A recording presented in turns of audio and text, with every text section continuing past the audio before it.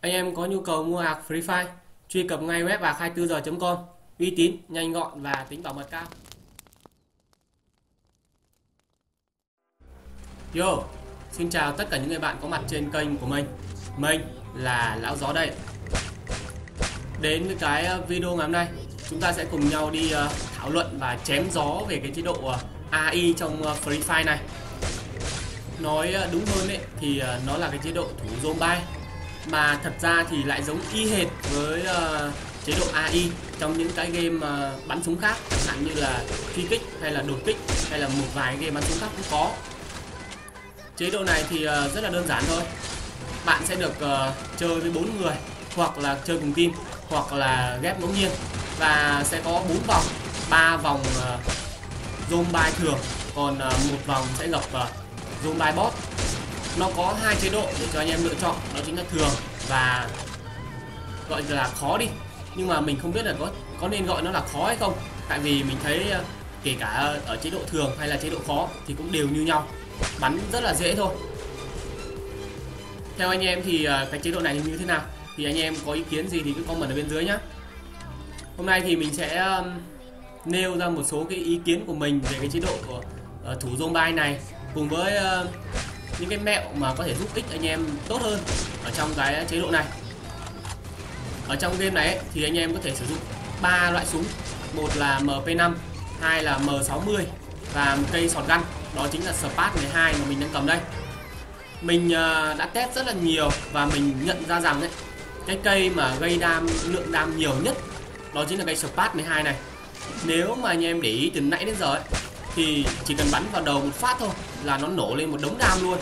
Và con quái thì cũng chỉ nằm luôn xuống đất luôn, không kịp làm gì.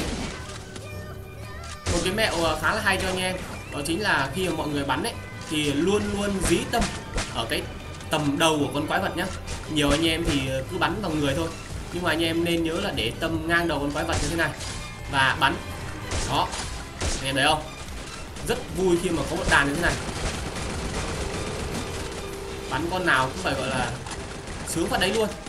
Mỗi tội là bắn được hơi ít và nó bắn hơi gần. Nhưng mà chúng ta đánh bay mà. Anh chàng trước mặt mình đang còn ờ, chém bằng gậy kìa.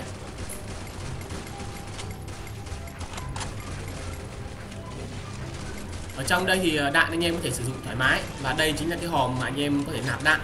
Cái này thì chắc là 100 người chơi thì phải đến ờ, 99,9 người là biết rồi. Không cần phải nhắc làm gì.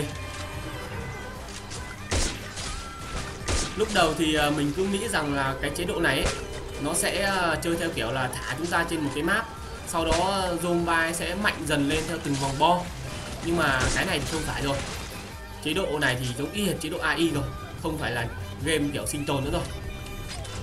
Mình muốn là một cái chế độ kiểu như là vừa diệt zombie vừa phải chạy trốn zombie chứ thế này thì hơi nhàn. Với lại mình nghĩ là sau này cũng có thêm những cái chế độ khó để chinh phục hơn bây giờ thì mình thấy quá dễ so với mình. Hệ thống zombie thì rất là đa dạng rồi anh em ạ. Những con zombie thường này thì không nói làm gì. Nhưng mà có thêm một con zombie cầm cái dìu dìu chạy vào khua cũng gây ra được một chút sát thương. Lại ờ, tệ nhất là cái con ờ, cao cao kia, nó cứ ném ném cái độc độc với anh em, chạy vào thốn đứng hỏi luôn. Rất là hay. Mình thì ờ, mình vẫn muốn ờ, uh, zombie chính là người hơn kiểu như là 50 người chẳng hạn cho lên map uh, đảo quân sự. Xong rồi uh, 25 người sẽ bị biến ngẫu nhiên thành zombie và zombie thì có khả năng tàng hình hoặc là chạy nhanh. Tàng hình khi đứng im thôi còn uh, lúc chạy thì sẽ nhìn thấy mờ mờ. Còn 25 người còn lại thì uh, sẽ được rút đồ và sẽ được uh, nhặt súng đấy tiêu diệt nhau kiểu như vậy còn uh, zombie thì uh, có khả năng gọi là lây nhiễm sang uh, người. Còn người thì uh, nếu mà bắn uh, tốt thì có thể giết được zombie. Như kiểu uh, đột kích ấy thì mình thấy nó hay hơn. Thật ra thì uh, đấy cũng chỉ là ý kiến riêng của mình thôi và cũng là cái uh, tưởng tượng riêng của mình thôi. Biết đâu sau này nó lại thành sự thật thì sao phải không? Như là cái chế độ uh, thủ zombie mà chúng ta đang thấy đây. Đó ai mà ngờ được rằng là Free Fire lại có chế độ AI cơ chứ lị. Free Fire là một trò chơi mà luôn tạo ra những cái điều bất ngờ cho người chơi.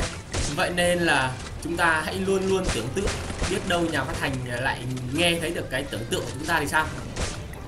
Nhưng mà anh em có biết rằng là cái trò Free Fire này, lúc đầu mục đích của nó sinh ra là để ờ, tạo ra một cái game bắn súng cho những cái máy cấu hình yếu và những cái máy cấu hình trung bình để có thể gọi là những cái người mà máy có hình yếu và trung bình, họ không chơi được những cái game PUBG hay là những cái game du ở survival thì người ta có thể chơi những cái game Free Fire.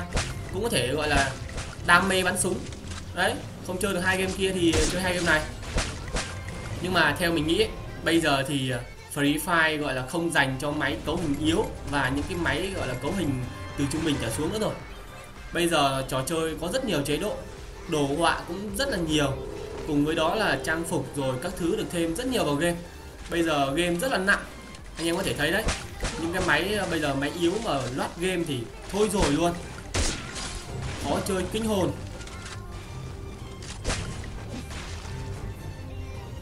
Đó, anh em thấy không? Rất là nhanh chóng thôi. Mình thì ờ, mình cầm khẩu spat vậy nên là cái lượng đam gây ra thì cứ phải gọi là về đứng hỏi đây là một khẩu súng mà mình theo mình nghĩ là mạnh nhất ở trong game này. Nếu mà anh em uh, muốn test thì hoàn toàn có thể vào. Nhưng mà một điều uh, lưu ý. Rồi chết queo luôn rồi. Chạy không kịp. Một điều uh, lưu ý nho nhỏ cho anh em là nhớ là phải để tâm lên phần đầu của Rombai nhá. Đừng bắn vào người bắn vào người thì chẳng thấm vào đâu đâu. Cứ đè vào đầu mà dí thôi. Trượt cũng được và một lời khuyên nho nhỏ nữa là nên bật auto bắn lên. Bật auto bắn sẽ lợi hơn. Mặc dù là khi bật auto bắn ấy, mọi người đánh những con boss này này, cái lúc mà nó ra chiêu ấy, không kịp tránh đâu, nhưng mà chết thì lại chống lại thôi. Sao đâu? Ôi! Đậu xanh. Cái con boss này nó cứ dí mình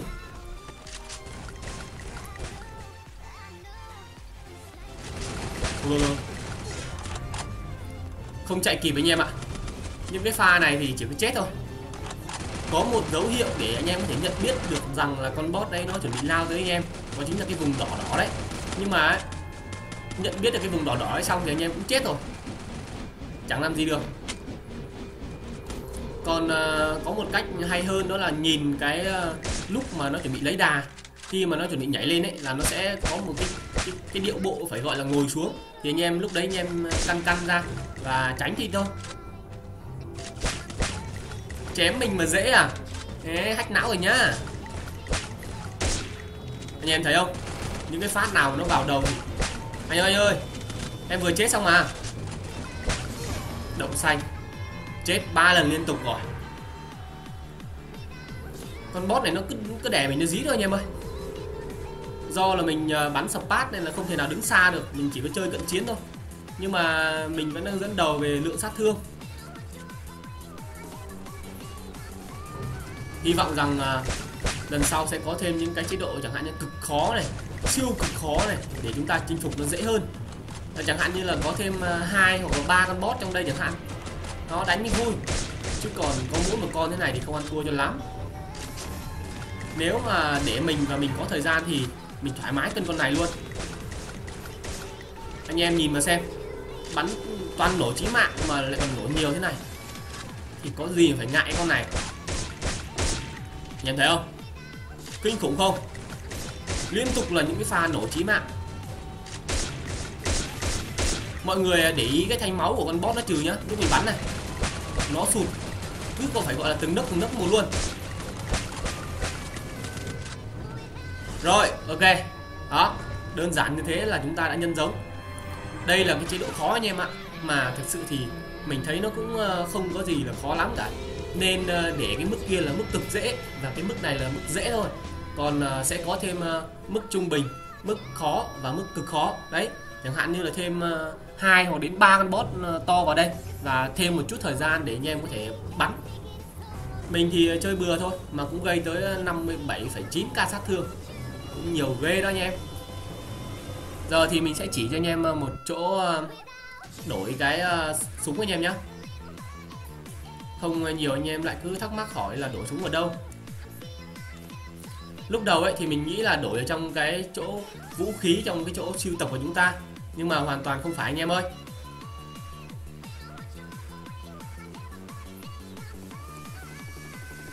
Anh em à, đổi bằng cách là nhấn vào cái biểu tượng à, chế độ zombie và nó sẽ có ngay một cái chữ ngăn vũ khí. Đây em thấy chưa? Và sau khi đây là ba cái thứ anh em có thể chọn. Mv5, Spat và M60 để có thể chọn được đấy nếu mà anh em chỉ ấn ở đây thì không chọn được đâu nhá. Đấy vẫn cầm Spat này. Mọi người phải ấn sang bên phải. Sao cho cái uh, súng Spat này nó đổi thành khẩu khác thì là được. Đơn giản có thế thôi anh em. Cuối cùng là cảm ơn tất cả những người anh em đã theo dõi cái video này của mình. Đừng quên nhấn like và đăng ký kênh để nhận những thông báo mới nhất từ channel của mình nha. Tạm biệt và chúc mọi người một ngày thật là tốt lành. Bye bye.